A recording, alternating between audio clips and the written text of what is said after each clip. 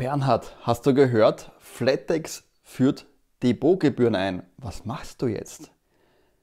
Diese und ähnliche Kommentare bekomme ich in den letzten Tagen sehr, sehr häufig und in diesem Video möchte ich jetzt speziell nur auf das Thema Depotgebühren bei Flatex. Wird es sie geben? In Österreich auch, nur in Deutschland. Was wird da kommen und wie reagiere ich? Was ist meine Strategie daraufhin? Genauer eingehen. In einem zweiten Video habe ich schon das gesamte System äh, versucht, meine Gesamtstrategie darzulegen, damit man auch das dahinter versteht. Jetzt soll es wirklich nur um das Thema Depotgebühr bei Flatex gehen. Und da muss man allgemein mal als erstes sagen, wie reagiere ich, was machst du jetzt? Lassen wir mal wie immer bei allem in meinem Businessbereich die Kirche im Dorf und schauen wir, was passiert. Wir müssen sagen, erstens einmal, wir sind mit Flatex noch immer um Welten billiger dran als mit einer traditionellen Hausbank oder mit Privatbanken und vielen anderen Dingen oder gar Fonds, wie manche Leute höhere Gebühren, weit höhere Gebühren als 0,1% auf den Depotwert pro Jahr bezahlen. Wir sind hier noch immer also im Vergleich, sage ich mal, bei vielen, vielen günstig. Natürlich ist es nicht schön für gebührenbewusste Leute, wie ich es bin, diese Gebühr zu bezahlen. Zugleich muss ich wieder als Aktionär sagen, ist natürlich jede Gebühr auch wiederum ein Einkommen für mich, weil ich auch Flatex wie auch Swissquote zum Beispiel Aktionär bin. Trotzdem sollte man, glaube ich, wissen, dass die Depotgebühr in meinen Augen nicht das Problem bei Flatex ist, sondern vielmehr eigentlich die Dividendengebühr auf Titel, die nicht in Österreich oder Deutschland äh, sind. Also das heißt auf, nicht, auf, auf AT und DE-Titel, die gelten jeweils als inländische Titel, zahle ich auch über 15 Euro keine Gebühr auf Dividendenzahlungen, aber auf alle anderen Titel zahle ich ab 15 Euro Dividende eine Gebühr von 5,90 Euro pro Dividendenzahlung. Und wenn man sich das jetzt überlegt, bei mir bei hunderten Titeln, selbst wenn ich nur 100 Titel habe, dann sind das bereits, wenn ich jetzt nur einmal im Jahr eine Dividendenzahlung über 15 Euro bekomme, 590 Euro, die ich steuerlich aus österreichischer Sicht zumindest nicht geltend machen kann. Und äh, daher, sage ich mal, ist das viel mehr das Problem. Und es bestätigt mich, diese Depotgebühr, die kommt eigentlich wirklich wieder mal, genauso wie die Frage mit der Börsenäquivalenz, dass ich einfach sagen muss, ähm, in meiner Strategie, die ich seit Jahren entwickelt habe. Und deshalb, ja, ich muss einfach sagen. Und im Endeffekt bin ich schon seit Jahren dabei, wegen der Dividendengebühr alle internationalen Titel auf mein Konto bzw. auf mein Depot in der Schweiz zu übertragen, wo ich dann auch die Währungskonten habe außerhalb der EU, was auch ein Sicherheitsgedanke bei mir ist und sozusagen die Dividenden vor allem in der jeweiligen Währung ausbezahlt bekomme, dass auch allein dieser Spread und etwaige sonstige Gebühren, weil der Spread wird nämlich oft übersehen beim, wenn ich jetzt eine Dividende zum Beispiel von einem US-Titel in Euro ausbezahlt bekomme, wäre immer sozusagen ein Wechselkurs und einen Spread dazwischen. Und wenn ich dann wieder in US reinvestiere, habe ich nochmal einen Wechselkurs, äh, sozusagen Wechselkursgebühren dazwischen, Kosten dazwischen. Ähm, deshalb ist mir sehr wichtig, das jeweils in der Währung zu lassen und bestätigt meine Strategie in diesem Zusammenhang.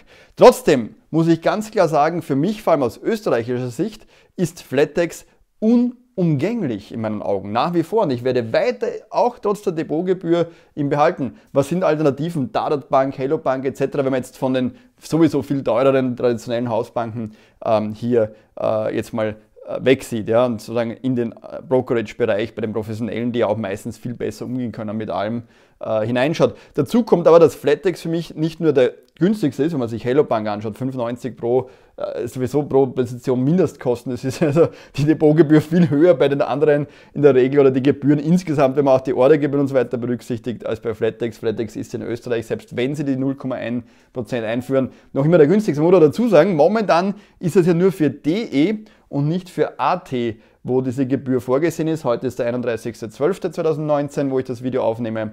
Ähm, aber nachdem die Gebührenstruktur bis dato, muss man sagen, immer eigentlich mehr oder weniger parallel gelaufen ist, in Österreich und Deutschland die gesamte Verwaltung, selbst die Hotline ja an eine Stelle mal gelaufen ist, ähm, nehme ich an, dass wahrscheinlich Österreich sehr bald nachziehen wird, weil bis jetzt war die Gebührenstruktur praktisch, kann man sagen, ident, bis auf ein paar kleine Unterschiede, zum Beispiel, dass wir in Österreich eben, wenn wir einen Wertpapierübertrag machen in ein anderes Konto, eine Gebühr haben. In Deutschland ist die verboten, deshalb gibt es die dort nicht. Ja. Zumindest so ist mein Wissensstand, bitte immer alles ohne Gewähr.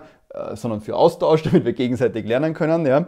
Ähm, aber im Endeffekt ist das parallel laufend. Also ich könnte mir gut vorstellen, dass diese Gebühr vielleicht auch in Österreich kommt. Meine Antwort auf eure Kommentare, trotzdem würde ich also hier ähm, dann mein Depot weiterhin behalten und selbst würde ich auch weiterhin DE und AT-Titel definitiv bei Flatex kaufen und nicht bei Swissquote. Das heißt, vor allem ich möchte sowieso Minimum zwei Depots haben, um auch das Risiko zwischen Depots ja zu streuen, aber mehr dazu in meinem Video, das ich euch auch in der Beschreibung unten verlinke, wo ich die Gesamtstrategie über mein globales Investment als Privatanleger so ein bisschen versucht habe anzureißen. Warum ist aber Flatex, glaube ich, überhaupt auch unumgänglich, äh, sozusagen aus österreichischer Sicht?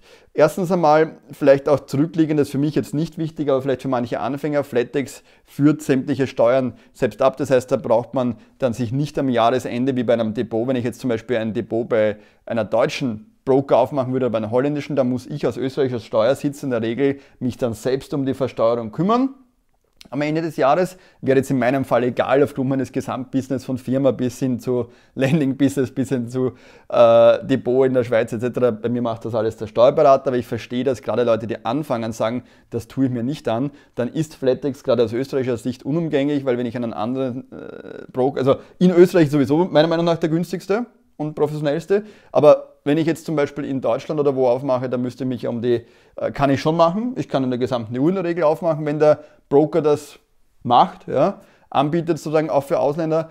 Aber ich habe halt dann die Frage mit der Versteuerung. Der Punkt aber, was mir am Flatex hier noch immer so gefällt, und das sage ich nicht, weil ich jetzt äh, Aktionär bin, gut, ich meine, klar, für mich ist auch eine Rolle, dass ich jeweils hier und hier, genauso wie beim Landing-Business, dann sozusagen die Menschen dahinter kenne, was mir auch wichtig ist und das Gesamte so ein bisschen durchleuchtet habe, bis hin zum Headquarter aber es geht mir hier darum, die haben einen großen Vorteil. Sie sind einer der ganz wenigen, wo ich diese Konstellation erreicht habe, dass wir sowohl die Einladungen für österreichische Hauptversammlungen bekommen, als auch die Eintragung vom Aktienregister bei deutschen Namensaktien erreichen. Das heißt also, bei den österreichischen Brokern kriege ich zwar in der Regel die österreichischen, wobei selbst das teilweise nicht funktioniert. Bei den deutschen Brokern, dann nur die in Deutschland, was aber für mich als Österreicher, als Wiener, wo ich ja auch hier rundherum viele, viele Hauptversammlungen natürlich vor Ort besuche, genauso wie in ganz Europa und in Deutschland, ist es für mich wichtig, dass ich einen habe, der sozusagen sowohl Deutschland, Schweiz, Schweiz ist natürlich mit denen abgedeckt und global, als auch Österreich abdeckt. Und wenn ich jetzt in der Schweiz nur das Konto hätte, dann hätte ich keine Einladungen wiederum für Österreich und für Deutschland und keine einfache Eintragung in Deutschland.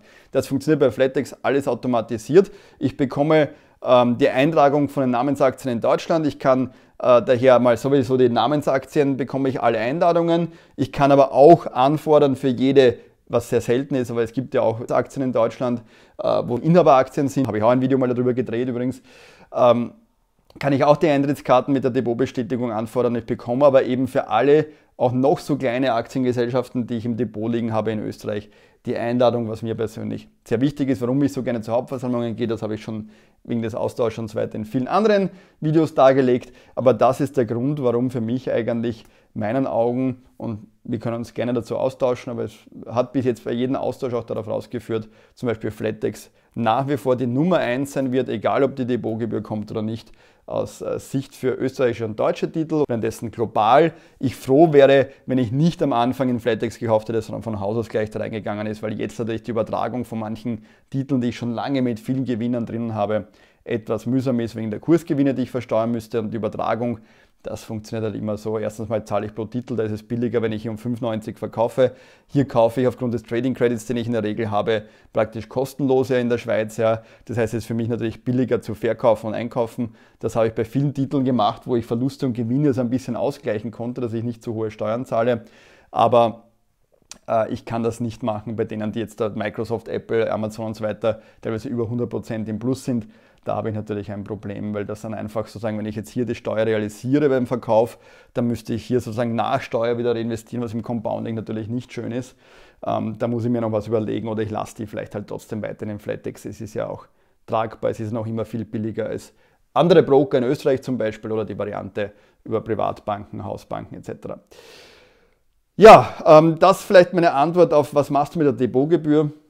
Einfach Strategie weiterfahren, mich bestätigt fühlen, ein, ein weiteres Mal, äh, so wie bei der Börsenäquivalenzfrage, den Schweizer Titel jetzt mit einem Nicht-Schweizer Broker zu kaufen, ist in der Regel relativ teuer. Ja, natürlich kann ich außerbörslich kaufen, ähm, aber dann habe ich in der Regel die Liquidität nicht und außerdem möchte ich ja in Franken den Titel äh, führen. Außerdem möchte ich in Franken meine Dividende bekommen ohne Wechselkurs und außerdem möchte ich in Franken gleich diese Dividende, wenn ich sie brauche, äh, beziehen können und außerdem möchte ich das eingetragen haben ins Aktienregister in der Schweiz und außerdem möchte ich auch dort zur Generalversammlung gehen können. Das ist für mich diese Variante eindeutig derzeit die, die ich halt jetzt mal für mich entdeckt habe. Ich hoffe, ich konnte in diesem Video parallel zu dem Video, wo ich versucht habe, gesamt mein Konzept und meine Asset Location ein bisschen anzureißen, das halbwegs rüberbringen. Ist sehr schwierig, das für mich jetzt gerade so vor der Kamera ähm, zu erläutern. Das ist mit Gegenfragen im Gespräch, finde ich, fast einfacher, aber ihr, ihr, redet halt nicht zurück in der Kamera, wenn ich das aufnehme. Ne?